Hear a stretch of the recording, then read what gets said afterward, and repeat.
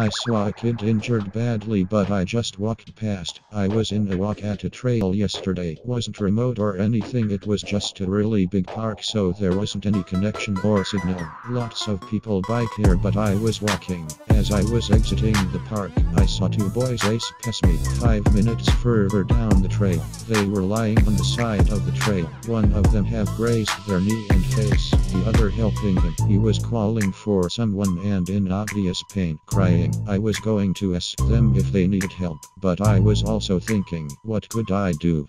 I had nothing on me and I didn't really want to waste my time. So I just walked past. I felt so bad. I still feel so bad. I wish I helped them. I hope they are okay.